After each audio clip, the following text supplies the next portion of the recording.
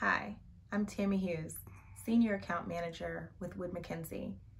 We can all agree that working during a pandemic was challenging, stressful at times, but what it taught me was how to balance home and work life, even though the two seemed to be colliding. In order to maintain my peace and wellness, I had to be intentional about carving out time for the people I love most and the things I enjoy. Like my mother and her mother, I started gardening. I'm proud to say I went from a single failing basil plant to a thriving garden with broccoli, okra, cauliflower, and Brussels sprouts for my family to eat.